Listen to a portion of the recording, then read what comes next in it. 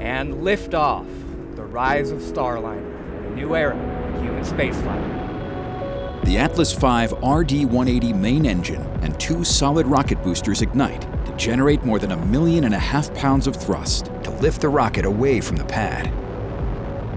Shortly after liftoff, Atlas begins a pitchover to attain the proper flight path while minimizing the dynamic pressure the vehicle experiences during flight. To ensure crew safety and comfort, the Atlas V rolls to a heads-up position and uses booster engine throttling to limit vehicle acceleration to 3.5 Gs.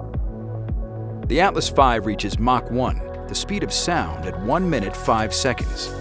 The two SRBs are jettisoned at 2 minutes 20 seconds.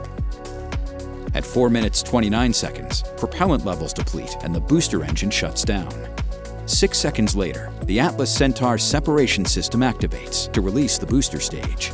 The vehicle now weighs less than 9% of what it did at liftoff. Jettison of the ascent cover occurs at 4 minutes 41 seconds. The ascent cover protects critical hardware on top of the spacecraft and provides an aerodynamic shape for ascent through the atmosphere. Four seconds later, burn of the dual-engine Centaur begins.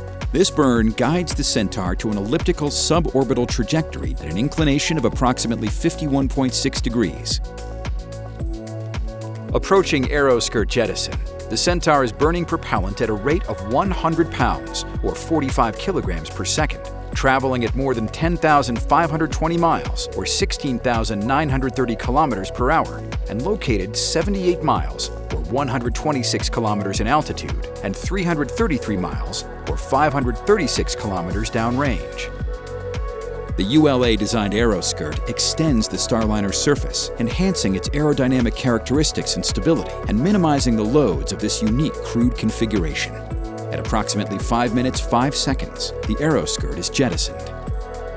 Nearly 12 minutes into flight, cutoff of the Centaur main engines, or MECO-1, occurs. The mission now enters a suborbital coast phase in preparation for separation. Centaur's suborbital trajectory design enhances crew safety by providing a shallow orbit more favorable for an abort if required, and ensures the Centaur will naturally deorbit, impacting the ocean off the southwest coast of Australia. At 14 minutes and 50 seconds, Centaur releases the CST-100 Starliner on its second orbital flight test.